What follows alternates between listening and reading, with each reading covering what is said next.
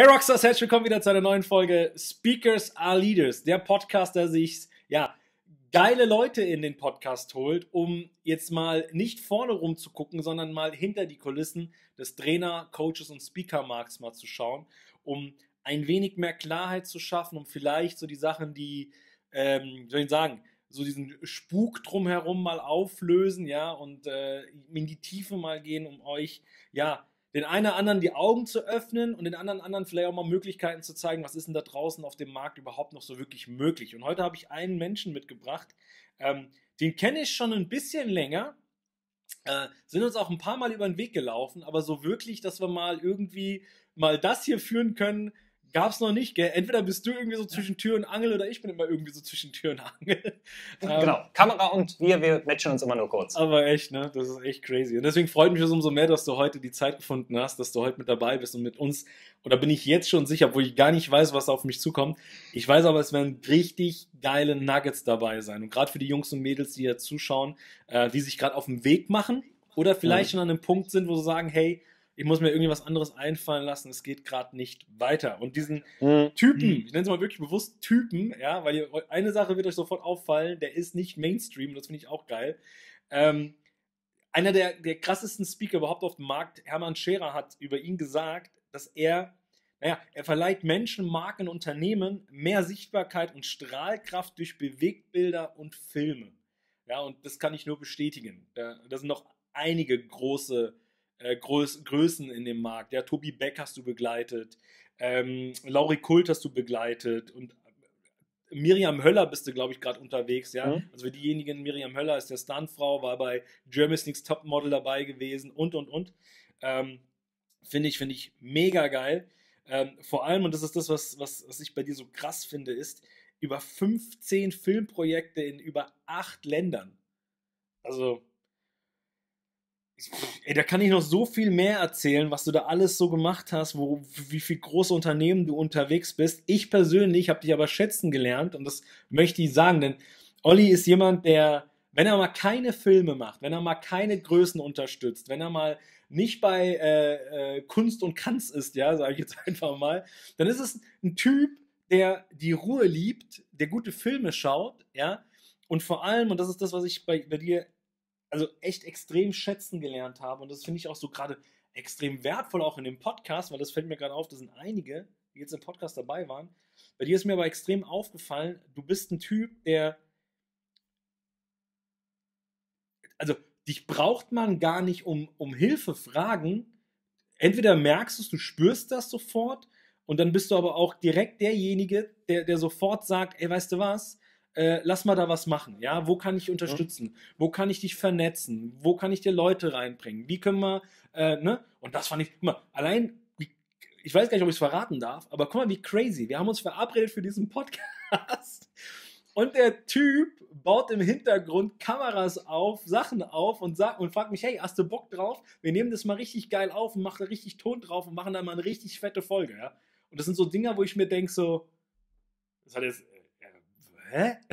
Wie kommt er da drauf? Weißt? Und das sind so Sachen, die, die schätze ich bei dir extrem geil. Wir hatten vor, vor kürzerem auch eine längere Unterhaltung, äh, wo, wo du Sachen gesagt hast, wo ich denke, ey, der Typ spricht mir gerade extrem aus dem Herzen raus.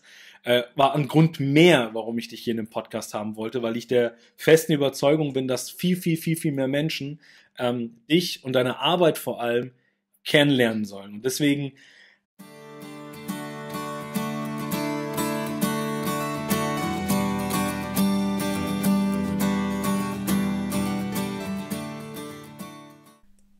Dankeschön und echt mit einem riesen Respekt, dass du dir die Zeit genommen hast für uns. Äh, herzlich willkommen, Oliver Albrecht. Ja, vielen Dank, dass ich da sein darf. Erstmal ein ganz großes Dankeschön für diese göttliche Anmoderation. Es ist ja, es geht ja runter wie Öl. Ne? Da ist ja schon, da sitzt man schon da und denkt so, mhm, mhm. Aber du hast recht. Es ist ja dieser Moment, wenn du jemanden siehst und ich glaube, wir dürfen aus diesem Gefühl von Kampf und Picking aus den Nuggets, die am Markt sind, wir müssen da mehr raus. Ähm, wir müssen mehr in dieses Kollegen-Dasein. Also ich habe das vor, vor sechs Jahren oder so, habe ich in der Medienbranche äh, gesagt, Leute, lasst uns mal enger zusammenwachsen, lasst uns mal Partner werden. Und ich glaube, das darf die, die Speaker, Trainer, Coaches und Beraterbranche wirklich mal haben, weil alle versuchen irgendwie so den einen Kunden zu kriegen.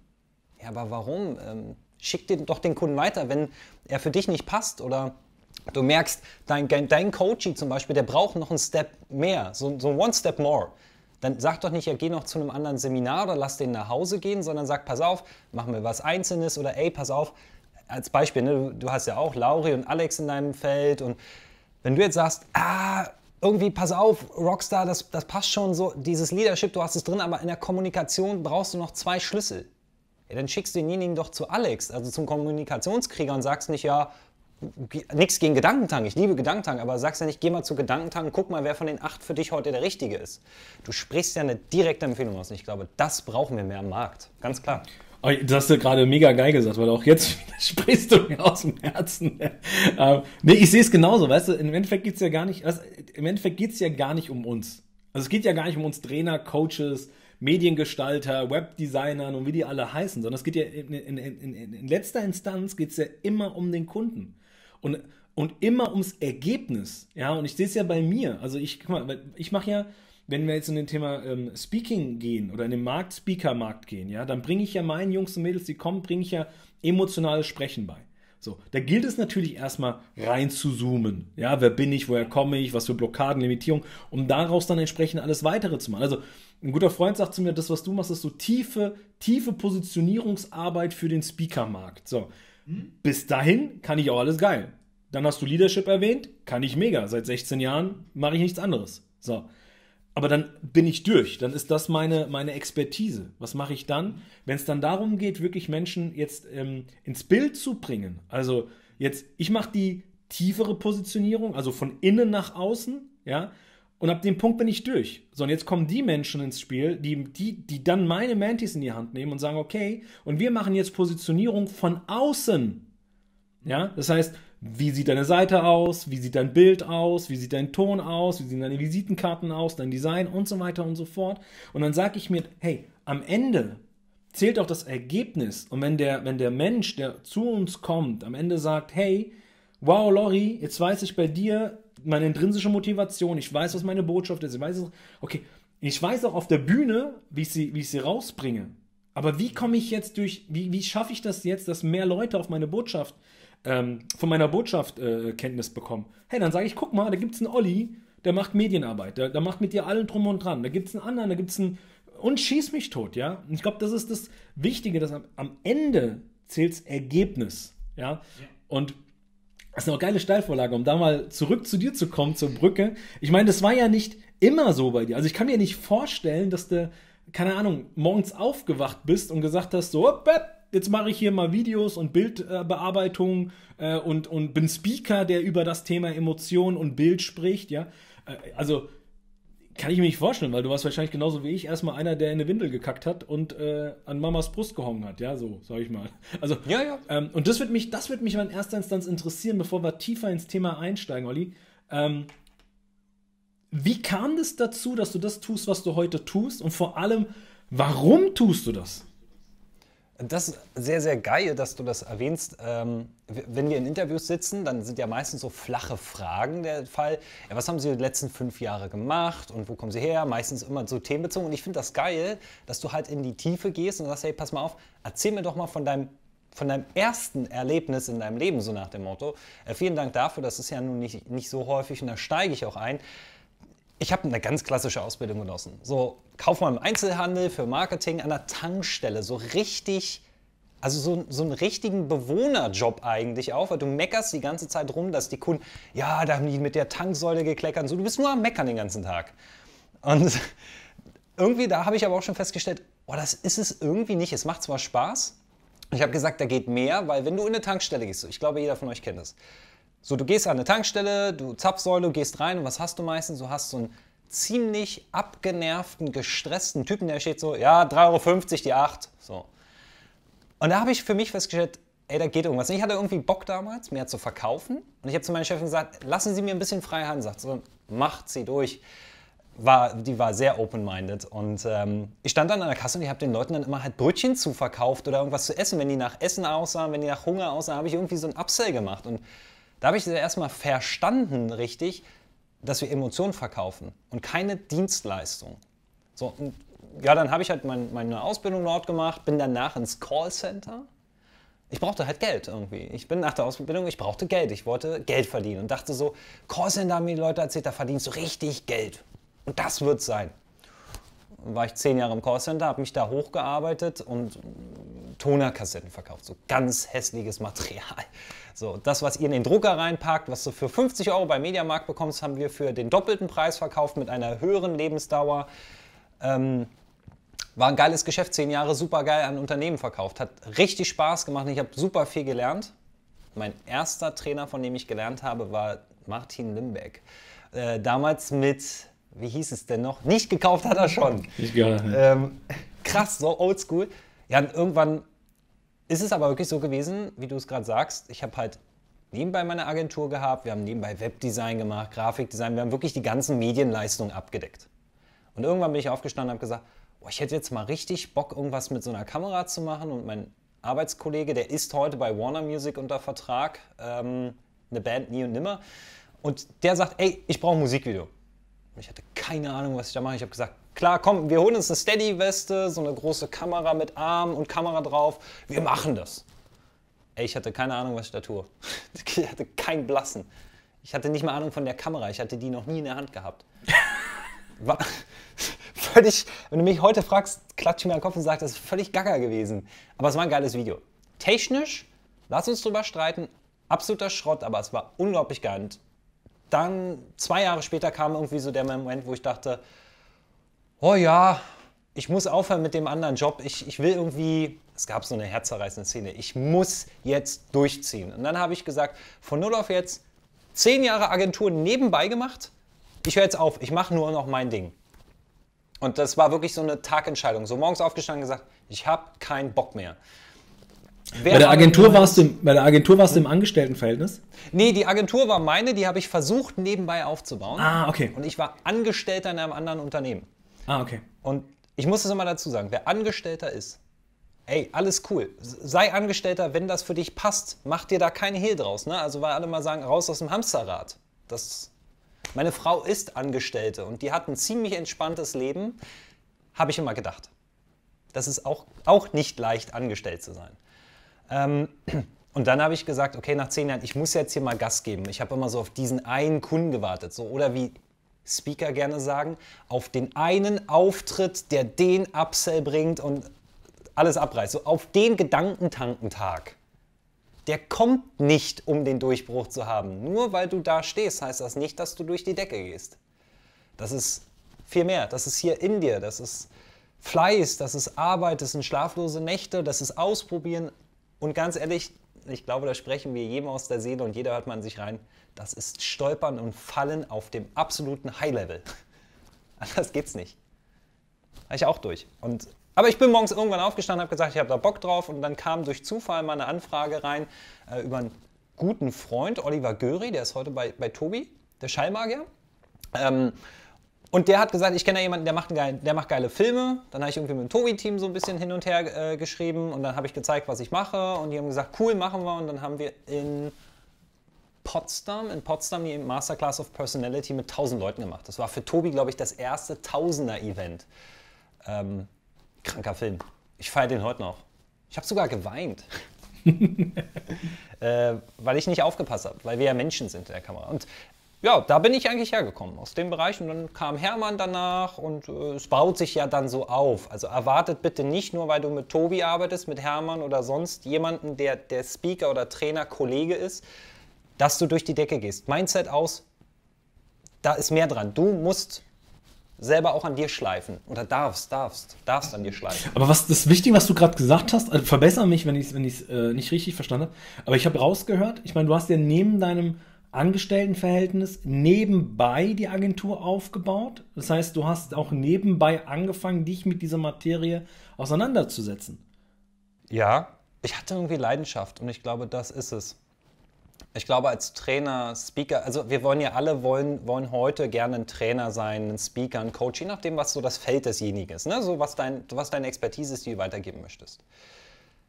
Ich glaube, es, Leidenschaft ist der wichtigste Motor, um rauszugehen. Ohne diese Leidenschaft, dieses Fühlen von, ich habe Bock, nachts um drei aufzustehen, eine Kamera zu nehmen, ich, mache ich keinen Film. Wenn ich nicht, nee, geht nicht. Also du musst es fühlen, du musst es lieben und die Leidenschaft haben und dich hinstellen und sagen, ja, ich gehe den Weg auch 40 Mal, dann ansonsten hm, ist es nicht. Was ist, was ist das? Ja, ich unterschreibe ich sofort. Jetzt hast du hier Menschen sitzen, die zugucken und die ja. sagen, naja, der, der, der Albrecht, der sitzt da jetzt, ne? Und der kann das ja, der kann ja laut davon sprechen und der Schibetta, ja. die erzählen das ja auch jeden Tag. Ähm, aber mach das mal greifbar für, für die Jungs und Mädels, die gerade zuhören. Zum Beispiel, ich meine, ich habe dich damals erlebt bei Tobi und ich habe auch die Filme mhm. erlebt, die du bei Tobi gemacht hast, ja. Ähm, und ich weiß, mit was, für eine, mit was für eine Passion du da reingehst. Mhm.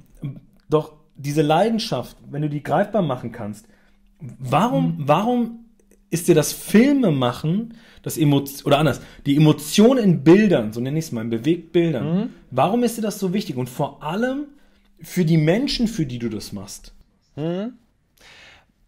Wenn du dir ich mache das mal in Bildern. Also jeder, der jetzt zuschaut, ihr dürft auch mal ganz kurz die, die Augen schließen und mal einfach reinführen, ob ihr das gleiche Bild bekommt, was ich jetzt versuche zu senden. Weil vielleicht funktioniert es bei euch. Du hast eine riesengroße Halle, da passen 1000 Leute rein. Und diese Halle wird komplett dekoriert. Und du stehst dort mit deinem Equipment, was 12 Kilo wiegt. Die Musik geht an in der Halle die Crew ist schon am Tingeln, Tanzen und Machen und du hast noch circa drei Minuten, bevor diese Halle geflutet wird von Menschen, die da reingehen.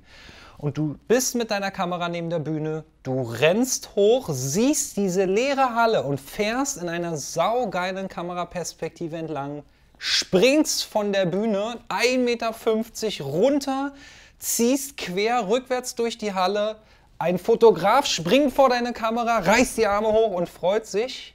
Du drehst die Kamera um, die Tür geht auf und alle stürmen in die Halle. Wenn du dieses Bild fühlst, dann weißt du, warum ich das tue. Und das mache ich acht Stunden, neun Stunden, zwölf Stunden, 13 Stunden am Tag. Und ich setze mich abends hin und sage, das Bild ist es.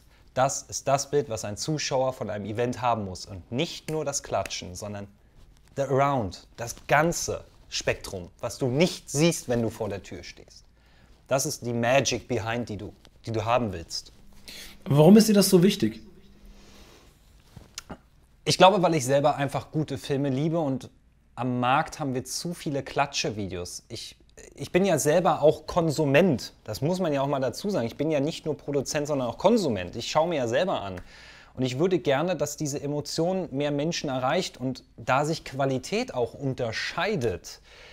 Immerhin wer sich die Zeit nimmt, zu sagen, ich, ich produziere einen guten Film und ich setze mich da mit hin und ich spreche mit dem Regisseur das durch, was möchte ich, und das ist wichtig, was möchte ich meinen Zuschauern und Teilnehmern vermitteln? Ja, da weißt du doch, wie viel Qualität der auch in seine Seminare legt. Oder ich stelle eine Kamera auf und sage, vier Tage Live-Mitschnitt. Da sitzen fünf Leute kurz vor der Kamera. Einer macht den Kopf runter, guckt aufs Handy. Zwei machen nach und du hast das Gefühl, das ist ein boring Event. Ich finde, ein Live-Mitschnitt ist das Tödlichste, was du machen darfst oder kannst, wenn du, mit, wenn du auf, aufzeichnest. Vier Tage ist, haut nicht hin, zieht nicht. Würde mich auch fragen, warum. Und ich möchte, dass diese Emotionen mehr getragen werden, weil mhm. die Welt ist kalt im Sinne von Text. Wir kriegen Texte, wir kriegen Bilder, wir werden mit, mit Informationen geflutet den ganzen Tag. Aber ein schönes Bild, was dich mal aus deiner Tagesemotion rausholt. Ich benutze das Wort jetzt bewusst, das Bewohnern. Das haben wir alle mal. Und ich glaube auch ein großes Geheimnis, was wir lüften, dass wir alle mal bewohnern. Ey, darf man auch, sollte man auch. Mal so einen Moment haben von, ja, hm, hm, hm.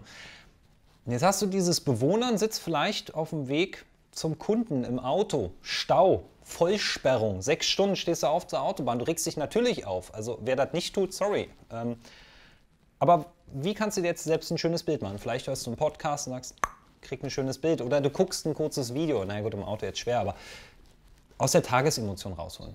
Hm. Schöne Momente. Bilder sollten schöne Momente sprechen. Wenn du mich nach dem geilsten Film fragen würdest, ähm, Der Hobbit, Herr der Ringe, Filme, die transportieren, die durchziehen. Das ist es. Guck, guck den Hermann Scherer Aftermovie an, vier Tage, zwölf Stunden gefilmt und was kommt raus? Drei Minuten 40 und da, da, da, einfach nur zusammen, komprimiert. Das ist das Ziel, komprimiert Emotionen zu zeigen. Und nicht nur, waren fünf geile Tage. Guck Geil. mich nicht ab. Cool. Hart. Also ich höre ich hör für mich raus, dass es dir darum geht, wirklich Emotionen festzuhalten und wirklich die Atmosphäre, die in dem Raum ist, und dann bin ich zu 100% bei dir. Ich glaube, der geilste Moment von einem Event, und es gibt zwei geile Momente in dem Event. Ich glaube, der Anfang, wenn die Türen aufgehen, die ganzen Leute reinrennen mit diesen riesen Augen, ja. Ich, ich, für mich ist das Bild immer wie kleine Kinder vom Weihnachtsbaum.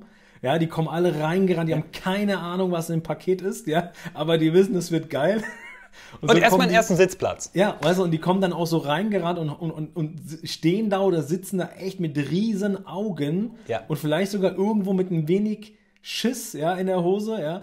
Aber Ja. vor allem mit dieser Vorfreude und dieser Euphorie auf diesen Tag oder auf die mehreren Tage.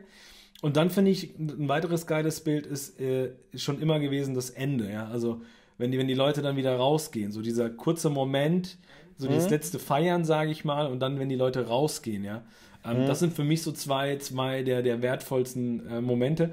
Und ja, Menschen, die nicht da sind und Menschen, die das noch nie erlebt haben oder nur ansatzweise erlebt haben, da bin ich bei dir. Ich glaube, dann ist es wichtig, dass sie nicht nur Bilder haben, sondern dass sie, als würden sie durch dieses Video live dabei sein, ja, und so einen, einen kurzen Hauch bekommen, ja, von dem, was da Genau. tatsächlich machbar ist, ne? Wenn, wenn, du, wenn du den Gedanken aufmachst, sehr interessant, dass du diese Vorlage gerade lieferst von, von den Bildern, die du siehst. Ich mache mal einen anderen äh, Kontext auf und ich guck mal, ich würde gerne mal wissen, was du dazu sagst. Glaubst du, dass es wichtig ist, in einem Aftermovie oder in einem Trailer bereits eine Kernaussage von einem Event zu treffen, zu sagen, das könnte dich erwarten oder eine Mini-Zusammenfassung im Sinne von einem Satz, der überzeugt. Glaubst du, dass das tragen sein könnte in Zukunft oder eher so sagst, ja, es ist ein Stilmittel von deinem Gefühl? Oh, der, erste Impuls, der gerade kam, war wirklich gewesen, ich glaube, das was, das, was wirklich transportiert, ist Bild und Musik. Ich glaube, ich Okay. glaube, und vor allem aber, ähm, und das erlebe ich zurzeit sehr oft, dass wenn du so Filme siehst, meistens der Speaker im Vordergrund steht. Also du siehst da jetzt mal von 100% Bildmaterial, hast du 80% Speaker und 20% ähm, Pu um, Publikum, um die es wirklich geht. Da ist Ja. schon im Endeffekt schon meine, äh, meine, mein, mein Sarkasmus daraus, ja. Ja. Ähm, ich glaube, ich glaube, die Videos, die in Zukunft wirklich, also wirkliche Emotionen transportieren, ja, und das wirklich festhalten, sind nicht Videos über den Speaker, sondern Videos über das Publikum, über die Reaktion des Publikums. Ich glaube, also ich sage immer, wenn ich Musik mache oder auf der Bühne stehe, gibt es für mich einen einzigen Grund, warum ich das mache. Klar, das Versprechen meiner Kleinen, aber jetzt in dem Moment gibt es nur einen einzigen Grund und das ist unkontrollierte Emotionen schaffen. Also Kontro Ja. Emotionen, die du nicht kontrollieren kannst. Gänsehaut, Tränen in den Augen, Freude, Lachen, das kannst du nicht kontrollieren. Es kommt. Und das ist, glaube ich, und ich glaube dafür, und dafür sind auch so Menschen wie du da, die das eben dann festhalten. Weil wenn du so Menschen wie dich nicht da vor Ort hast, dann ist es ein Moment, der ist vergangen. Derjenige, der den Moment hatte für sich, der hat den, bis, bis er irgendwann äh, unter die Erde kommt, ja. Ähm, aber die, die das, die, weißt du, meine Mama sagt immer so schön, meine Junge, du musst erst die Suppe probieren, bevor du sagst, sie schmeckt dir nicht. Ja? Ja. Und ich glaube, ihr, euer Job, dein Job ist es eben genau das, genau diese unkontrollierten Emotionen, diese, die in hundertsteln Sekunden stattfinden, ja, die festzuhalten, eben genau für die Menschen, die sagen, ich würde gern mal probieren, damit ich für mich sagen kann, hey, was sagt gerade mein Bauch? Sagt mein Bauch, das sollte ich mal hin? Oder sagt dein Bauch eher, na, das ist so gar nicht meine Welt, ja? Und äh, wenn du mich fragst, ich, also ich glaube, in Zukunft werden die Bilder oder die Videos echt reinknallen, wo du hauptsächlich dein Publikum siehst, wie, wie diese Emotionen übertragen, ja, und das begleitet von der, von der passenden Musik, die das Ganze nochmal entsprechend, äh, wo nochmal dieser Impact nochmal reinkommt. Ja, weil du ich gehe noch einen Schritt weiter. Ich ja. gehe noch einen Schritt weiter. Ich glaube, diese Stimme dahinter ist wichtig. Dass derjenige, der das Seminar leitet, jetzt nicht erzählt, wie geil er ist. Ich glaube, das können wir alle. Sondern dein, dein Event in einem Satz zusammenfasst. Also, das ist mein Gefühl, bei, bei Hermann als Beispiel. Ich habe vier Tage, Event gehabt, ah, a 12 Stunden und habe mich hingesetzt und habe mir jede einzelne Audiospur angehört. Also wirklich vier Tage, zwölf Stunden mir angehört, zwar ein bisschen schneller, aber angehört. Und dann habe ich die wichtigsten Sachen genommen und habe gesagt, okay, daraus bauen wir jetzt eine Story. Das heißt, also ich habe die, die Audiospur zusammengeschnitten. Passend dazu natürlich das Bildmaterial behalten und habe ihn ab und zu eingeblendet, aber den Teilnehmer in den Fokus genommen. Und eine Kernaussage zum Beispiel dabei ist es, äh, es, es geht nicht darum, die, äh, die Keynote zu halten. Ja, zu 49 Prozent, aber 51 Prozent sind die Menschen, mit dem Publikum zu spielen, dem Publikum etwas mhm. mitzugeben. Und die Kernmessage habe ich reingepackt und interessanterweise ähm, haben viele das erst später mitbekommen. Also für jeden, der hier Videofilmer vielleicht nochmal ist oder einen Videografen hat. Also unter die, die sind A Pflicht. Das habe ich jetzt ein paar Mal mitbekommen, dass viele Menschen erst verstehen, was gesagt wird, wenn sie es nochmal lesen deswegen Untertitelpflicht. Aber schaut mal, wenn, jeder, der so von sich ein Video machen lässt, diesen Moment einfangen, wo, wo Lorenzo eben ein Tränchen im Auge hat. Ich glaube, das können wir alle. Das ist technisch reproduzierbar. Die wirkliche Kunst liegt darin, im Schnitt die richtige Emotion wieder zu holen. Und ich nenne das immer meine kleinen Detektoren. Also ich habe hier so einen, so einen kleinen Mitarbeiter, ein paar drauf. Und wenn die hochgehen im Schnitt, und ich die gleiche Emotion wieder kriege, dann hast du das richtige Bild. Gehen die nicht hoch, ähm, ja, dann habe ich hier viele weinende Gesichter im Büro, weil die machen dann Nachtschichten.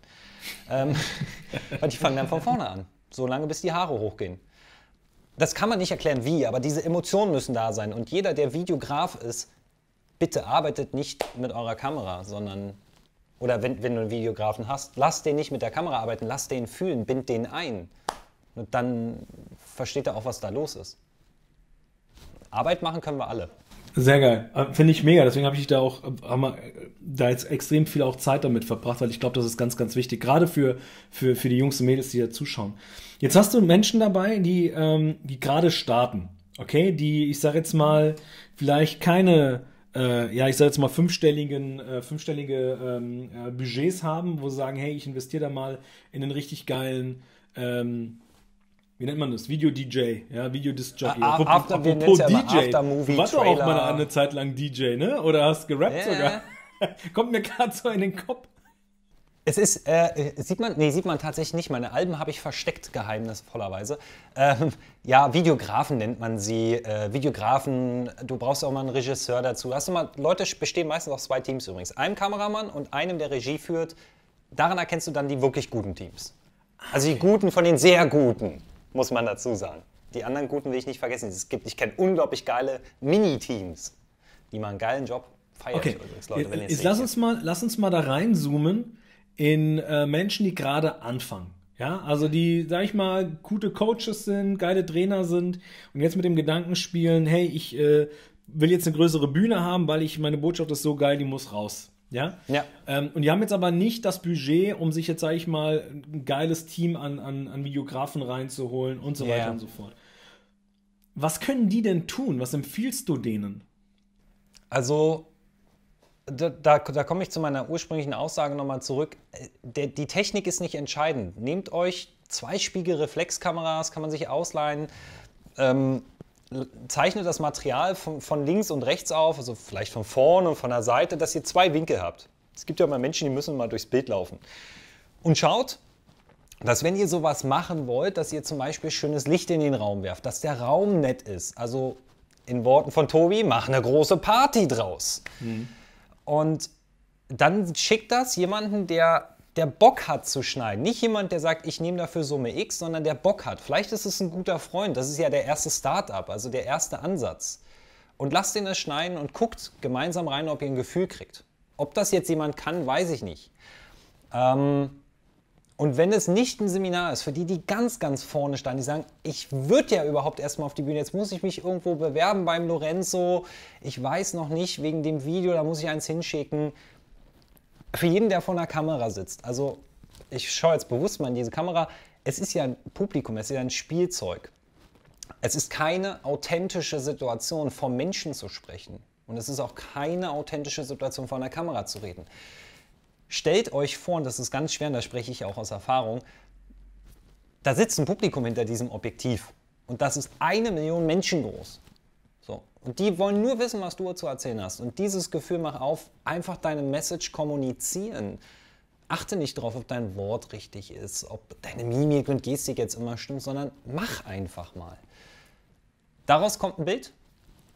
Und wichtig ist der Hintergrund. Ihr seht hier vielleicht gerade, der Hintergrund ist immer so, so ein Ding, wo ich sage, Leute, schau, dass ihr einen geilen Hintergrund habt weil Menschen wollen was entdecken und jeder, der neugierig ist, der sucht jetzt hier vielleicht mal so, dass er da sowas sieht oder Monitor. Probiert aus zu spielen mit der Kamera und macht euch nicht verkrampft, macht den Kopf aus. Aber ich glaube, da kannst du, Lorenzo, glaube ich, viel besser den Leuten an die Hand geben, wie man nicht verkrampft ist. Ja, ich hätte jetzt fast so ein Beispiel gebracht. Äh Wobei ich nicht weiß, ob das eher zu, zu Unverkrampftheit fühlt oder sogar eher mehr. Also, wenn, wenn ich mit meinen Jungs und Mädels arbeite und ich, ich glaube, das was, um erstmal auf deine Sache einzugehen, ich glaube, du hast gerade was ganz, ganz Wertvolles gesagt. Und ich glaube, das ist eben genau das Thema. Als ich vielleicht damals, äh, um das vielleicht mal so als Brücke zu nehmen, ich weiß nicht, wie es bei dir ist, aber als ich damals angefangen habe, eben wirklich in diese, ähm, in diesen Speaker-Markt reinzugehen, habe ich mir natürlich wen angeschaut ich habe mir die Besten der Besten angeguckt. Ja. Ne? Ich habe mir ähm, damals einen Tobi angeschaut. Ich habe mir damals einen Hermann Scherer angeschaut. Ich habe mir einen Stefan Friedrich mit Gedankentanken angeschaut. So, das heißt, ich habe mir natürlich schon mal die reingeholt, wo ich also von Anfang an schon komplett überfordert war. Ja, weil ich natürlich, ich habe also meine Erwartungshaltung mal extrem hochge hochgetrieben ja. und war dann mit jeglichem Video oder mit wirkliches Thema, was ich gemacht habe, immer unzufrieden. Hm? Klar, weil ich keine drei Regisseure habe und keine 10.000 äh, Videografen und keine Ahnung was. Ja. Aber das wusste ich nicht. Sondern was ich nur gesehen habe, war das Material am Ende. So, und ich glaube, das, was, was du eben gerade, Olli, ganz geil gesagt hast, war eben dieses, ey nein, fang doch an, hol dir zwei Spiegelreflexkameras und ja, die kosten kein, kein Geld. Ja, die kannst du 400 Euro mit Objektiv. Gell? Also nix, da kannst du dir für einen Tag so ein Ding ausleihen oder für zwei. Auch, ja. Ja, und dann, und dann kannst du daheim oder wo auch immer, äh, so wie du es gerade sagst, mit einem schönen Bild und so weiter, mit, schöner, mit schönem Licht, kannst du dir extrem geile Sachen da aufnehmen, ja. Ähm, und eben da vielleicht rauszugehen aus diesem Vergleich mit eben den Leuten, weil die Leute haben 10, 15 Jahre auf dem Kasten äh, und haben sich in der Zeit auch ein gewisses Budget ange, äh, angereift, ja, was sie eben in solche Teams investieren können. Ne? Und ähm, ich glaube, das ist ganz, ganz wichtig, dass man so zwischen den Zeilen die Botschaft vielleicht äh, das nochmal greifbar zu machen für die Jungs und Mädels, die gerade anfangen. Und was in ja. einem Jahr, in zwei, in drei, in vieren ist, ey, pff, keine Ahnung. Hätte mich einer vor drei Jahren gefragt, wo ich heute bin, hätte ich gesagt, pff, keine Ahnung, wo es hingeht.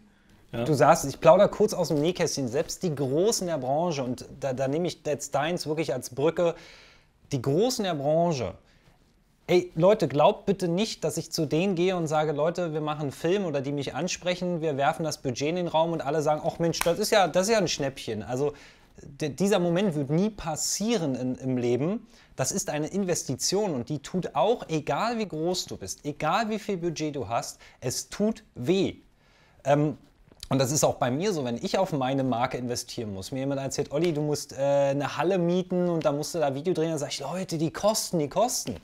Dann sagen die, Olli, du investierst gerade. Ja, stimmt, habt ihr recht, okay, alles cool, machen wir, aber es tut trotzdem weh. Also vergesst diesen Gedanken, dass, dass ein Stefan Friedrich, ein Hermann Scherer, ein Tobi einfach sagen, ja, ja, komm, was weg ist, ist weg. Das, das passiert nicht. Es ist ja trotzdem eine Investition. Und die sehen das auch so. Und natürlich gibt es da ganz viele Punkte und für jeden, der glaubt, dass das ein einfacher Job ist, da untereinander zu kommunizieren, es gibt ja eine bestehende Marke dahinter den Sprechern, wie bei dir, Lorenzo, oder wie es eben bei Tobi ist. Da ist eine feste Marke. Da habe ich mich an gewisse Richtlinien zu halten, um diese Marke nicht zu verwischen. Ich habe einen gewissen Spielraum. Und ich glaube, worum es wirklich geht, ist, seid authentisch. Wenn Tobi hinter der Bühne klatscht, singt und tanzt, dann spricht man natürlich ab, ob man das zeigen darf, weil äh, es geht immer darum, interessiert das vielleicht draußen jemanden. Aber zeigt das. Und wenn du vor deinem Seminar, sorry für, dieses, für, dieses schlecht, für diesen schlechten Satz vom, vom Umgangssprachlichen, wenn du vor dem Seminar dir in die Hose machst, dann zeig vielleicht nicht, dass du dir in die Hose machst, aber zeig deine Emotion, dass du ein bisschen aufgeregt bist. Und schneid danach ein Bild, wie du rausgehst und Freude hast, dass die Leute sehen, ah, okay, Freude resultiert aus Aufgeregtheit. Und dafür brauchst du keine High-End-Kameras, dafür brauchst du keinen Top-Regisseur, sondern Dafür braucht es nur einen Menschen, der spürt, was du tust. Und das ist das Geheimnis. Sehr geil.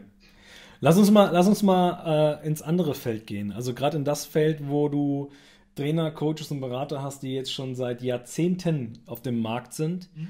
Ähm, und gerade, weiß nicht, wie du es siehst, aber für mich ist gerade so dieses Gefühl von, naja, da ruht sich der eine andere auf, auf, auf dem Erfolg, den er, den er hatte, beziehungsweise hat und, und verpasst gerade so alles, was gerade so an ja, neuen Medien äh, mhm. da sind. Also Frage ist an dich, wie wertvoll ist das, jetzt den, sein Pferd zu satteln und da aufzusteigen? Und was, äh, und die zweite Frage, was macht denn gerade für die, ähm, mhm. was, wo du jetzt sagen würdest, na, wenn du mich fragst, dann wäre das so der nächste Schritt, den ich dir empfehlen würde. Okay. Ähm, als allererstes muss man vielleicht verstehen, wie hoch ist unsere Aufmerksamkeitsspanne in der heutigen Zeit. Wir sind ja immer mehr reizgeflutet. Also wenn ich ich selbst merke das. Vor zwei Jahren musste ich mir von, von einem, von einem 21-jährigen Mädchen erklären lassen, und ich bin jetzt über 30, wie Instagram funktioniert. Und ich habe schon ein bisschen länger mit Web zu tun. So, und jetzt ist es für jeden, der sagt, ich erkläre euch, wie Video funktioniert, wahrscheinlich ähnlich. Also macht euch bitte keine Sorgen, wenn euch jemand was Neues erklärt, sondern schaut mal, der Markt entwickelt sich. Ein Hermann ist ein Urgestein in der Speakerbranche. Aber der hat halt auch jahrelang, und das ist ja auch völlig in Ordnung, ja nie auf dem Schirm gehabt, dann dieses Digitale einzusteigen. Weil, sorry, es, es läuft ja, es ist ja dein bestehender Markt, deine Kunden schreiben, du kommunizierst mit denen, Telefonvertrieb, so klassisch halt. Martin Nimbeck ja auch und alle weiteren. Jetzt kommt Instagram und auf einmal wirst du überholt von denen, die neu einsteigen.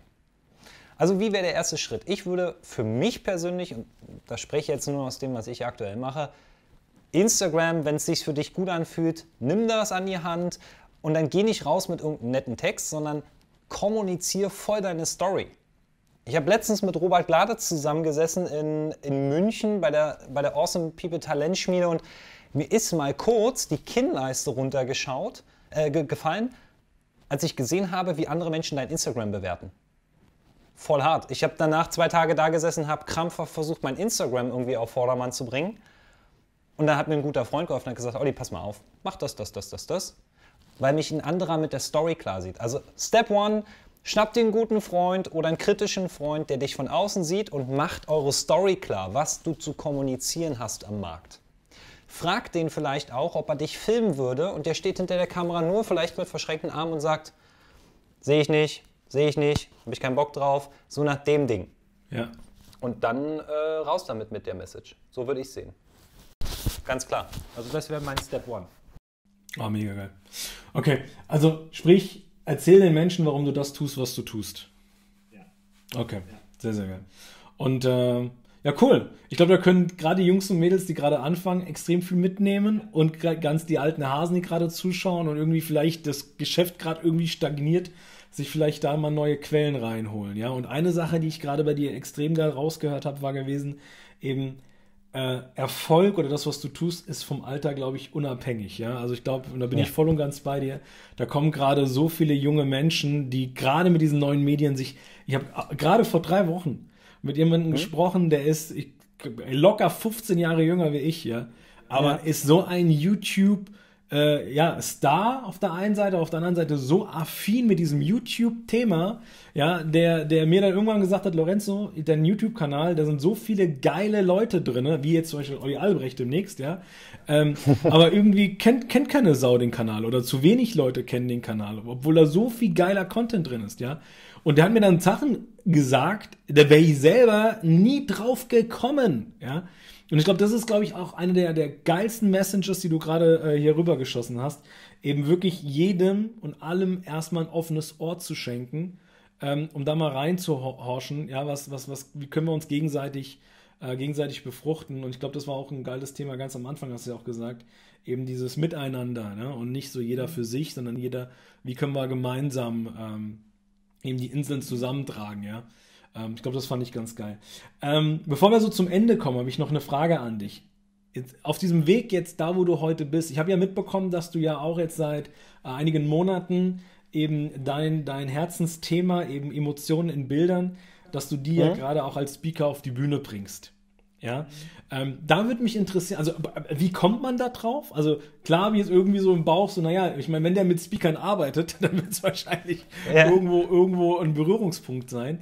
Ähm, aber was ist, was war dein Beweggrund, jetzt als Speaker auf die Bühne zu gehen, um, um den Menschen, ähm, ja, beziehungsweise, was willst du den Menschen mitgeben jetzt als Speaker auf den Bühnen? Ich glaube, das, weil das habe ich jetzt, also verbessere mich, aber ich kenne aktuell keinen Keynote-Speaker, keinen Speaker, der über dieses Thema spricht. Mm, noch nicht. Das Schöne ist, wir sprechen immer von Authentizität. Und du kennst du das, wenn du im Leben ein, ein wirklich wichtiges Interview führst, ein, ein Podcast oder ähnliches, in die Authentizität reinhaut und dir sagt, dein MacBook-Akku ist fast leer und du musst jetzt, während du die Frage beantworten willst, erstmal aufstehen und das Ladekabel reinstecken. Ungefähr das könnte in diesem Moment passieren und würde auch passieren. Dementsprechend würde ich dich bitten, kurz durchzumoderieren. Ich werde darauf gleich eingehen, aber ich will nicht weg sein. Das ist übrigens authentisch, Freunde. Wenn das passiert, zieht einfach durch, macht's einfach mal. So sieht's aus. Und ich glaube, das ist auch ein, einer der größten Geheimtipps, die du bekommen kannst, wenn du auf die Bühne willst. Und vielleicht, und ich packe jetzt mal das Beispiel von vorhin, ja, wo du gesagt hast, da kann Lorenzo dir wahrscheinlich wahrscheinlich äh, besser einen Ratschlag geben. Thema Botschaft. Bei meinen Mentees mache ich zum Beispiel mal folgendes. Ich sage, stell dir mal vor, du kriegst jetzt in diesem Moment die Möglichkeit, in einem Stadion zu stehen vor 100.000 Menschen. Und du hast jetzt 60, 90 äh, äh, Sekunden Zeit, mhm. deine Botschaft vor 100.000 Menschen auf dieser Bühne zu transportieren.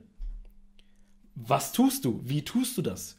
Ja, ja. ich glaube, wenn du wenn du wirklich für etwas stehst und für etwas brennst, dann ist es dir so scheißegal, wie du redest, wie du dich bewegst, ja. Wenn du für etwas brennst und du weißt, du hast jetzt die Chance vor 100.000 Menschen. Meine Mutter sagt immer hier bei uns in Hessen, ja, mal jung, schwätz so wie die, babble so wie die Schnut dir gewachsen ist, ja.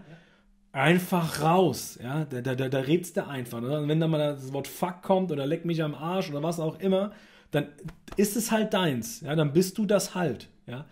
Genau, in der Videoaufzeichnung würde ich das übrigens rausschneiden. Ne? Also ich würde es denjenigen sagen lassen, aber ich schneide es in der Videoaufzeichnung raus, weil es einfach auch äh, für den Zuschauer nicht greifbar ist. Es ist ja keine, keine Situation, ja, genau. die ich gerade fühle. Ne?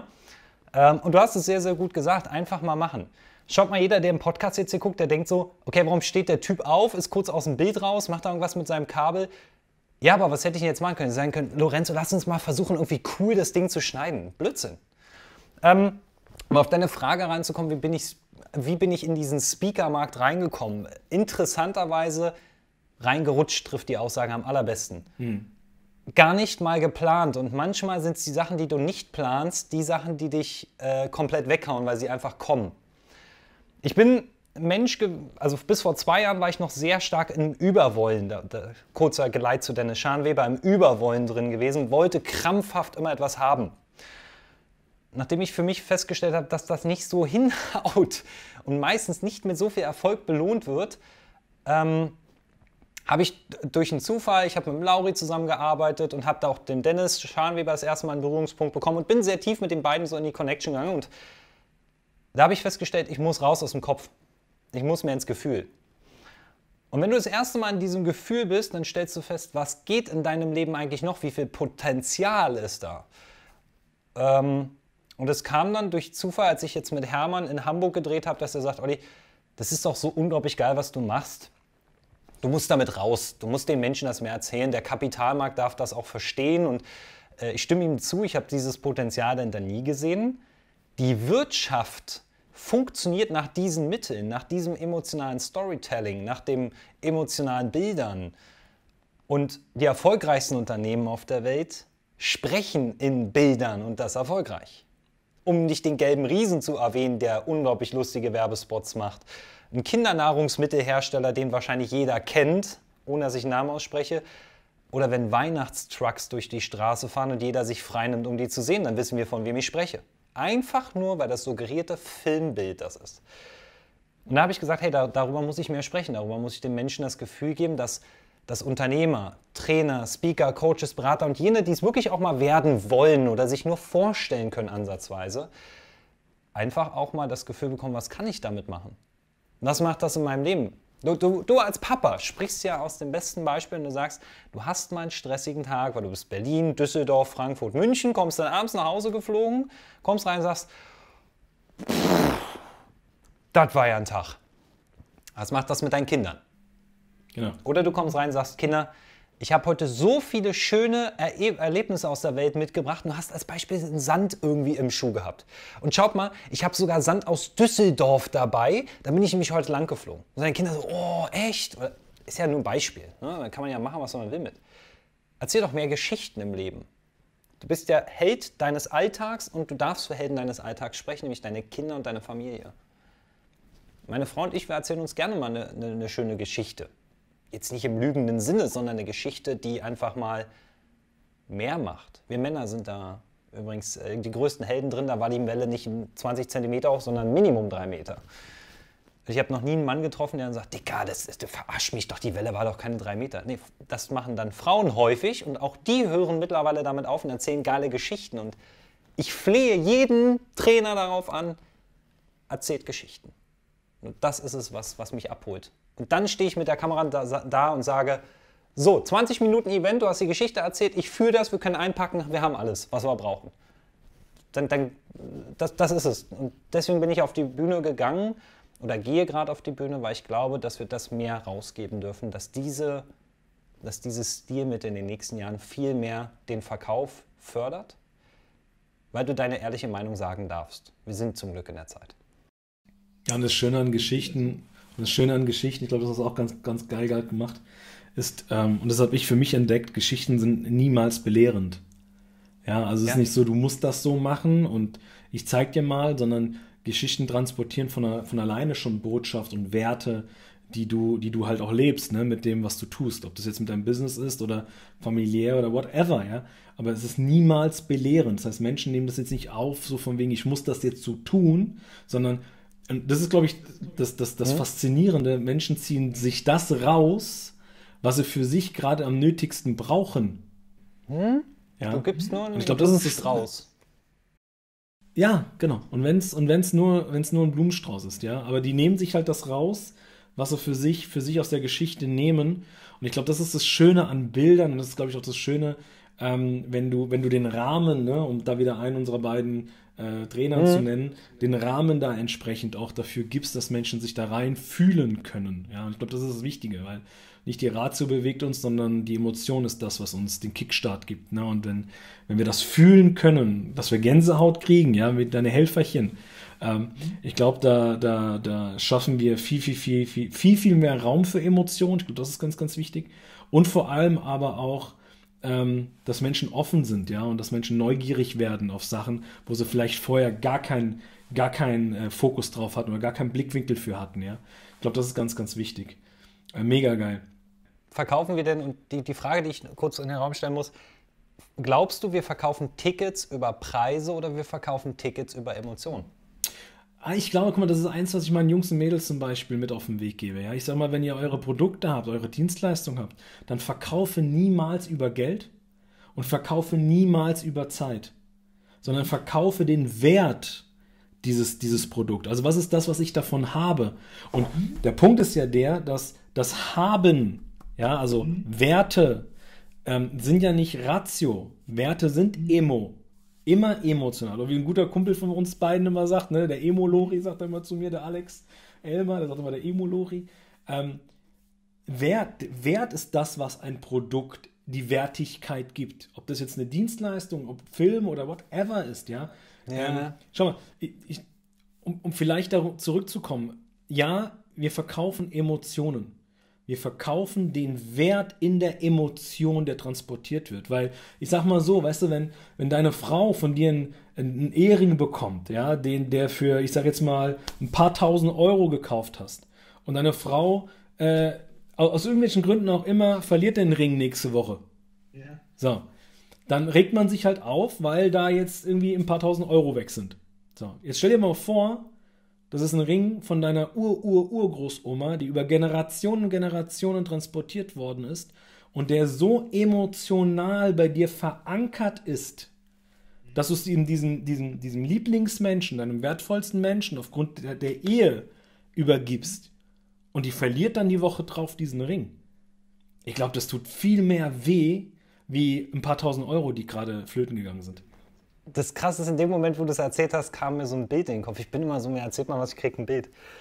Wenn du einen Heiratsantrag machst mit so einem Ring und du sagst, Schatz, ich habe hier einen Ring für 35.000 Euro, möchtest du mich heiraten? Kriegst du eine andere Antwort, als wenn du sagst, ich habe diesen Ring geholt. Ich bin, ich bin 50 Kilometer zu Fuß gelaufen, bin im strömenden Regen wiedergekommen. Willst du mich wirklich heiraten? Das ist eine. Welche Antwort kriegst du? Genau. Ja, äh, du, du, sagst es. Deswegen, ich, ich habe auch dieses Bild dann in meinem Kopf und ich glaube, diese Geschichten, und das hat mal ein Kollege von uns gesagt, wir erzählen Geschichten Kindern, um einzuschlafen und Erwachsenen, um wach zu werden. Es geht doch darum, Impulse zu bekommen. Und äh, diese Geschichten sind tragend. Unsere Kinder haben diese Werte drin. Wir machen sie als Erwachsene vielleicht einfach durch unsere Erziehung manchmal wieder auch, ohne dass wir es wollen, kaputt, weil wir eben diese eigentlich tragenden Werte rausnehmen. Hase und Igel, ne? das sind so, schaut euch mal Kindergeschichten an, da sind so viele Werte drin, die wir im Laufe des Lebens wieder kaputt machen, ohne dass wir es wollen. Ja.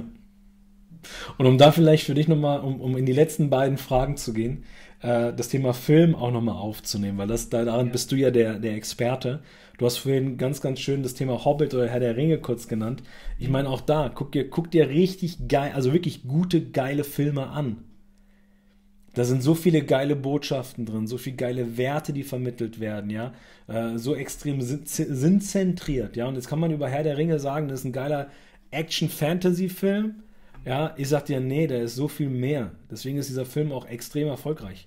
Ja, weil da Klar. so viel mehr drin ist, ja, wie im, im Rassen, die, die auseinandergerissen sind, die dann zusammenkommen wieder, ja, äh, gewisse Fertigkeiten und Talente, um jetzt mal so Mindset. die Brücke zu schlagen zum, zum Trainer, Speaker und Coach, Coachesmarkt, ja. Ich komme mir vor, manchmal, wie so ganz viele Trainer rumrennen, ja, wie ein, ein, ein, ein Herr, der hier wie ein Gandalf, der da irgendwo ist, wie ein Frodo, der da ist, wie der, der da ist, und alle irgendwie versuchen, ihr Ding zu machen, anstatt mal gemeinsam zu kommen Gefährten zu werden, um diesen, diesen, diesen, wie soll ich sagen, limitierenden und blockierenden Bösewicht, ja, den es da draußen gibt auf dieser Welt, äh, einfach mal in, in, in das Feuer zu werfen. Ja, naja, den Ring. Den Ring zu schützen.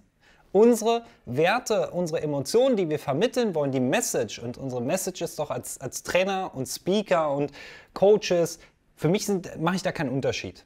Für mich haben alle was zu sagen und sie haben doch alle einen Wert beschäftige dich bitte kurz mal mit dir selbst, fühl in dich rein und nimm das und beschäftige dich dann mit anderen. Und du kannst nicht auf eine Bühne dich stellen und dich mit anderen beschäftigen, bevor du selber bei dir erstmal angefangen hast. Das, ich glaube, das hat Tobi gesagt, ne? Yes. Wenn ich mich nicht täusche. Und das wirst du deinen Coaches auch mitteilen. Mach vor deiner eigenen Tür erstmal sauber, bevor du rausgehst und anderen erzählst, wie die Welt funktioniert. Ja. Klar kann ein Kommunikationstrainer oder, oder als Regisseur, ja, jetzt könnte man wahrscheinlich hier schreien, hey, pass mal auf, der ist nicht ganz knackig scharf, weil ich mich hier 30 mm von der Kamera wegbewege. Mach doch erstmal dein eigenes Bild sauber. Ja, ja, ich weiß aber, wie es funktioniert. Ich arbeite jetzt gerade mit mir selbst. Ne? Das ist eine andere Geschichte, als wenn das mein Team macht. Und ich glaube, man muss nicht perfekt in seinem Thema sein, man muss sich nur klar sein, was man kann und, und was man möchte. Und das vermittelt man ja. Ich persönlich, ich feiere, dass du als, als Rockstar ja angefangen hast, gesagt hast, lead like a Rockstar und auch in diesem Thema den Leuten zeigst, wie, wie Führung funktioniert, weil als Rockstar führst du deine Audience. Und das zeigst du ja Menschen auch in deinen Seminaren und äh, auch in deinen Speakings. Ne? Also allein die Gitarrengeschichte. Ich habe da das erste Mal von dir äh, Wind bekommen und ich war völlig aus dem Häuschen, dass da sich ein Typ mit der Gitarre hinsetzt und loslegt. Ich habe gedacht, Leute, was ist hier los? Das ist ja das war ja so krass, das war ja so am, am Markt und jetzt versuchen alle irgendwie zu rappen oder so oder irgendwas zu singen, weil sie denken, dass sie das nachmachen können. Aber bist du das denn wirklich, nur weil du das jetzt kopierst? Ja, und vor allem, du hast halt, du hast was Spannendes gesagt, ne? Und das ist, glaube ich, auch wieder so das Thema, eben da gar nicht lange drüber nachdenken, was machen die anderen, sondern eben wieder authentisch dein Thema, dein Original. Was, was macht dich aus? Was kannst du mitbringen? Ja, und bei mir war das eben das Thema Musik. Ja, und ähm, das sagst du auch so schön, ja. Also auch das Lied Like a Rockstar war, war der Claim und der hat sich auch über die Jahre entwickelt zum Liedermacher jetzt, ja. Ähm, wo ich einfach für mich irgendwann gemerkt habe, okay, ähm, Lied Like a Rockstar, cool, aber ich bin, ich bin in meiner Welt nicht kein Rockstar. Vielleicht für, für die da draußen, ja. Aber in meiner Welt bin ich kein Rockstar. Ich bin nicht der, der Pam das Licht auf sich haben muss und keine Ahnung. Sondern ich habe für mich irgendwann gemerkt, so, nee, ich, ich bin nicht der Rockstar. Ich bin der Liedermacher. Der, der Lieder macht von Bühnen aus, damit die Speaker in Zukunft ihre Lieder singen von den Bühnen, ja. Äh, und dann Menschen diese Lieder weitertragen und weitersingen. Wie so ein Bade, ne? wenn wir jetzt wieder in der Mittelalterwelt ja. sind wie so ein Bade. Ne? Der Bade ging ja auch auf Plätzen, hat da mit seiner Harfe oder keine Ahnung, mit seiner Gitarre Musik gemacht und hat Botschaften transportiert. Ja, und die Menschen. Und der wurde aber nicht angekündigt, das ist der Bade, sondern da genau. kam der einfach. Richtig, der hat sich einfach hingestellt auf dem Markt und hat mit seiner mit seiner äh, Gitarre oder mit seiner Harfe oder was auch immer der dabei hatte, seine Musik gemacht und Geschichten erzählt, während er singt, ja. Und die Leute haben das mitgenommen in ihrer, in ihrer äh, Haushalte. Jetzt hast du aber eine geile Brücke geschlagen, mein Freund. Eine richtig geile Brücke zu den letzten zwei Fragen, weil, ähm, vielleicht drei Fragen. Wie wichtig ist Musik im Bild? Essentiell. Grund, Grundlage und essentiell. Okay. Gibt es da eine gewisse Vorgehensweise, wie ich Musik einbauen kann? Augen zumachen, fühlen, wie war der Tag für dich, fühlen, welche Musik könnte für dich stimmen und dann die richtige Musik picken. Für alle, die starten, also behind the scenes. Ich nehme auch ab und zu mal äh, Musik aus Musikplattformen, die, die groß bekannt sind. Ist auch nichts Schlimmes bei. Also Lied gut sollte nie was Geschütztes sein, was man nicht greifen kann. Irgendwann hast du Projekte, da musst du spezielle Songs nehmen, die man nicht kopieren kann. Ja, okay. Soundstripe, äh, Artist.io, PremiumBeat.com, Audio Jungle, greift zu. Aber schau, dass der Beat nicht kranker ist als das Material, was du lieferst. Im Sinne von, bitte nimm nicht ein Herr der Ringe Beat, wenn dein Material Gollum ist. Zieht nicht. Also, wenn du mit dem Handy, mit dem iPhone im Rotze-Dunkeln versuchst zu filmen, du hast nur Bildrauschen, dann ist ein Herr der Ringe Beat vielleicht nicht der tragende. Ja. Oder um es anders zu sagen, bei einer Hochzeit knallst du doch auch nicht die, die Musik der, äh, fünf, der, der Schlacht von Herr der Ringe rein. Das zieht nicht. Ich glaube, man muss es fühlen. Fühl, was war an dem Tag los. Fühl rein in die Musik und für jeden, der denkt, das ist mal so locker aus der Hand. Zum Teil zwei Tage, die wir hier die passende Musik für die Szenen suchen. Wir sitzen zum Teil da, suchen zwei Tage, dann fangen wir an zu schneiden mit dem Material und dann mittendrin stellen wir fest, na, ist doch nicht cool, komm, lass nochmal anfangen. Also diesen Mut muss man auch haben, nicht dann verkrampft dran zu sitzen, ja, aber ich will diese Musik. Fang manchmal neu an. Und das machen wir. Und deswegen sind diese Sachen, die wir machen, halt eben nicht mal so ein Schnäppchen, weil du halt einfach Zeit, Handarbeit, ne? wie Trainer eben sagen, das ist Menscharbeit. Ja, und, das, und es zeigt natürlich auch eine gewisse Qualität, eben die Qualität von wir fühlen, also uns ist das wichtig, ne? Und dann, und dann holst du halt auch so Leute her, wie ein Hermann Scherer, wie jetzt ein Lorenzo Schibetta, wie ein Lauri und wie die alle heißen, ein Tobi Beck, die halt dann kommen und sagen, hey Olli, lass mal gemeinsam was machen, lass mal zum Arbeiten, ja. Der Hermann weil, fliegt, ja, sorry. Weil, weil die Leute halt wissen, dass ihr Qualität abliefert und einfach nicht, äh, und, und, und vor allem, und das finde ich so geil bei dir und deiner Arbeit, dass, dass du es echt extrem geil verstehst, eben das, das Wesen des jeweiligen Sprechers in diesen Bildern zu. Also ich, ich, ich könnte kotzen, wenn ich mir so Videos angucke und du denkst dir so, ja, okay, so Schablone, Copy-Paste, ah, okay, ja, so. Aber wenn du dann so Bild, so Material von dir zum Beispiel dir anschaust, ich habe das gesehen, was du damals bei Tobi gemacht hast, ja, äh, wo ich da gehockt habe und gedacht habe, Alter. Also, Warst du im selben Event? Ja, ich dachte so, Alter, ich war, ich war ja da, ich war ja dabei. Also ich war ja dabei. Weißt du? Und ich habe den ganzen Tag erlebt. Und dann siehst du diese paar Minuten und du denkst dir so, ey, da geht, da geht gerade diese, dieser Film an dir wieder vorbei und du hast auf einmal diese ganzen Szenen wieder im Kopf. Ja? Und es zeigt halt, dass du dich nicht nur mit dem Thema Bild und Ton beschäftigst, sondern du beschäftigst dich ja mit dem jeweiligen Menschen hinter diesem ganzen, hinter diesem ganzen Thema, ja. Und ich glaube, das ist extrem wichtig, ja. Ich glaube, das ist extrem wichtig es, es, gibt ja auch ein paar NLP-Brücken, die wir machen. Also wenn wir über, über, über Sprechtechniken sprechen, wenn wir über Psychologietechniken sprechen, natürlich bauen wir sowas ein. Es ist ja nicht, dass wir das so dem Zufall überlassen. Ich flute ja auch bewusst zum Teil das Gehirn, dass ich sage, ich gebe dir ein schönes Bild von Fliegen, weil Menschen lieben Reisen.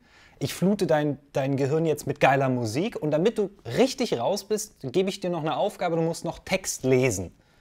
Und jetzt ist dein Gehirn voll raus und dann kann ich im nächsten Moment aber mit deinem Gehirn arbeiten, weil du, weil du offen wirst. Das ist ja auch eine Technik dahinter, aber das würde den Rahmen sprengen. Wichtig ist nur, beschäftige dich mit deinem Projekt. Wir fliegen im August mit Hermann nach New York, um dort die Masterclass zu filmen. Und bereits jetzt, bereits jetzt habe ich mit dem Tonstudio in New York den Kontakt und wir bauen schon den Beat. Jetzt, wir haben März. Ja, muss man einfach dazu sagen, oder Locations sind schon gescoutet. Also wir überlassen auch nichts dem Zufall. Und jeder, der irgendwas filmen will mit Event oder der sein Event mal filmen will, versucht authentisch zu sein, aber nehmt euch einen guten Freund mit, der für euch mit dem Hotel das mal abklärt. Gibt es da Licht? Ist der Ton denn aufgenommen? So, also diese kleinen Feinheiten. Das ist genau auch bei Musik der Fall. Nichts dem Zufall überlassen, so gut es geht. So gut es geht. Bitte nicht verkrampfen. Nur so gut es geht. Lass uns mal die Brücke. Dankeschön. Also erstmal Dankeschön bis hierhin für die ganzen geilen, wertvollen Sachen. äh, ich habe für mich einiges sogar mitgenommen. Richtig, richtig geiles Thema. Richtig geiles Thema. Ähm, nehmen wir mal die Musik als Brücke. Ja? Ja. Ähm, gibt es denn in deinem Leben eine Band oder einen Musiker, wo du sagst, oder eine Musikerin, wo du sagst, hey Lorenzo, die ist so geil, die habe ich damals als kleiner Junge gehört und vielleicht äh, verfolgt dich das sogar bis heute. Und warum? Boah, krass. Äh, es gibt viel an Musik, aber ich bin, ich bin so richtig Medien. Also ich habe früher mit, mit dem Berliner Radiosender KISS FM äh, sehr viel zusammen gemacht mit BJ Barry. Kennt wahrscheinlich kaum eine Sau, aber ein geiler Radiomoderator. Und Vis-a-vis. Und die verfolgen mich bis heute ähm, im Kopf. Aber ich könnte nicht sagen, ein Song oder sowas. Nee, eine Doch, Band. Gentleman. Gentleman. Gentleman bis heute. Gentleman. Feeling free. Das ist Gentleman, ist so dieses Gefühl von Freiheit, wenn ich den höre. Ah, hier der, der, der, ja, was ist denn das? Sprachgesang-Mischung. Reggae. Ja, ja, Reggae, ne? Der, der macht so, so Reggae. Reggae-Musik, ja, genau. Ja, ja, genau. Das, das, ist, das bewegt mich. Ja. Ja, cool. Sehr geil. Sehr geil. Und natürlich jetzt, und natürlich lustigerweise, du mit deinem Video, und zwar habe ich letztens dein Video durch Zufall gesehen. Ich muss diesen Exkurs machen. habe das Video durch Zufall gesehen. Ich weiß auch, wer es gemacht hat. Mit demjenigen habe ich schon gesprochen. Und ich musste dem ein Lob aussprechen, weil er hat dich von vielen so geilen Perspektiven getroffen, wo ich dachte so, wow, genau immer das richtige Bild, genau die richtige Emotion. Also äh, großes Lob für dieses Video. Wer das Musikvideo nicht kennt und diesen Podcast, ne, definitiv mal reinziehen von Lorenzo. Dankeschön. Dankeschön, Dankeschön. Letzte Frage. Ja. Also nur vorletzte Frage. Ich könnte ja mit dir echt bis morgen sch äh, schwätzen, hey. vorletzte Frage. Ähm, wenn du den Begriff Liedermacher hörst, was verbindest du damit? Mm, das, also Liedermacher zweierlei. Oder, Wir haben ja eine Speakers deutsche are Leaders. Nimm mal immer den Podcast. Speakers are Leaders. Dass, dass die Menschen, die von sich sprechen, im, im emotionalen Sinne, nicht von sich als ich bin geil, sondern von ihrer Meinung, ihrem Mindset, ihrer Emotionen sprechen, dass sie aber auch führen, dass sie nämlich anderen Menschen die Möglichkeit geben, der Idee zu folgen, diese Idee zu nehmen und auszubauen. Ich glaube, ein richtiger Leader ist niemand, der mit einer Peitsche hinten dran steht, sondern jemand, der sagt, ich go first, ich gehe vor, ich mache vor und wenn ihr wollt, springe ich für euch auch diese Klippe runter und ich habe einen Fallschirm dabei und dann gucken wir, ob ich unten heiler ankomme und dann dürft ihr nachmachen. Ja, also das Vormachen. Leader, für mich sind Leader Menschen, die mitmachen, die anpacken, die mithelfen. Wie du am Anfang so schön gesagt hast, um die Brücke zu schlagen, das Fazit.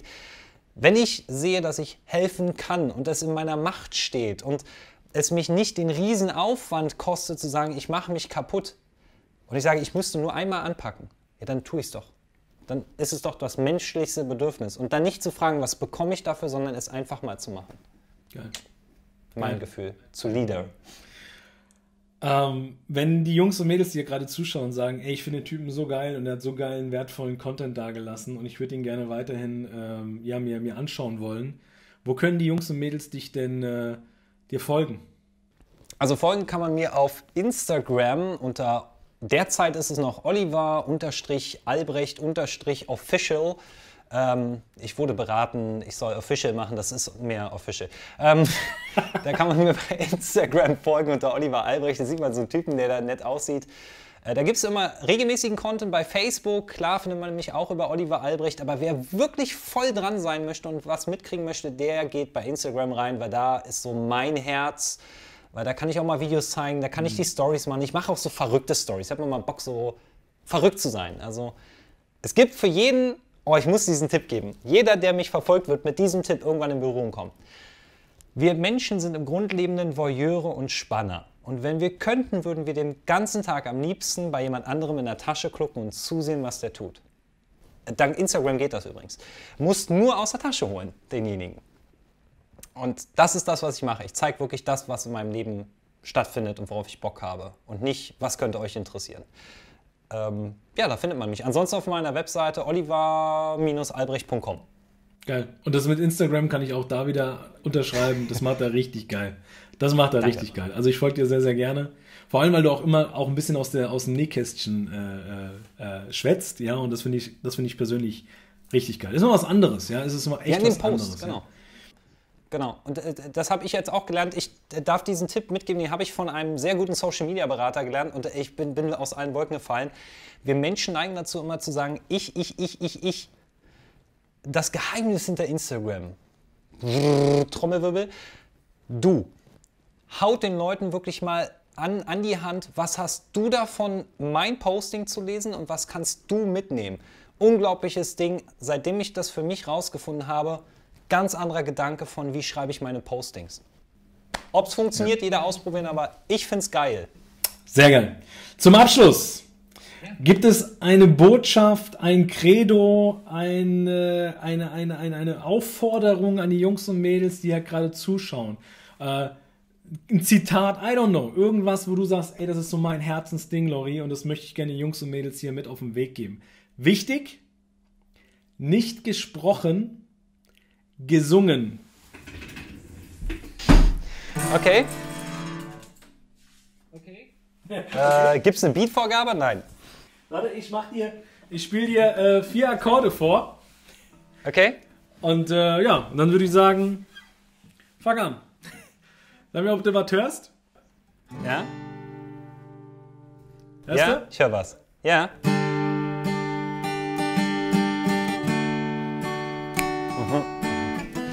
Geschichten von Helden begleiten uns. Von Zeit zu Zeit bist du dann bereit, irgendwas in deinem Leben wieder zu erzählen und den Leuten da draußen nicht mit Fragen zu quälen. Gib ihnen etwas mit, ein Zeichen der Zeit, bis du dann irgendwann hoffst, du bist dann bereit. Sei Speaker, sei Leader, sei Coach, sei Trainer. Mach da draußen, was du willst, doch da seist du noch nur Liga. Also hat dieser Text jetzt Sinn und Verstand. Egal, geh raus, schick die Message durchs Land. Alter, wie geil war das denn? Ja. Ähm, äh, habe ich das erzählt? Ich habe äh, acht Jahre lang Hip-Hop produziert.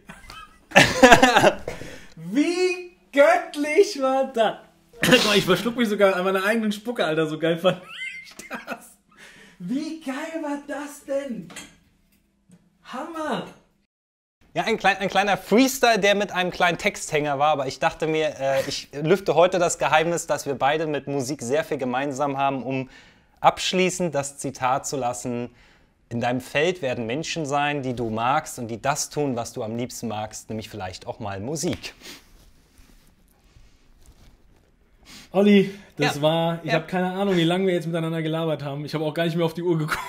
Das Ich auch so nicht, aber we scheißegal. wem's durch, ey, wem's gefällt, durchziehen, wem's nicht gefällt, wegklicken. Ich glaube, es ist für jeden was dabei. Wie geil war das? Ey, und wenn ihr, die gerade zugeschaut haben, dieses, diesen Podcast mit dem Olli so geil gefunden haben wie ich, ihr seht, ich strahle gerade hier über beide Backen. Also extrem danke für all die wertvollen Nuggets, vor allem für deine wertvolle Zeit, die du mit uns verbracht hast, weil die kann dir keiner mehr zurückgeben.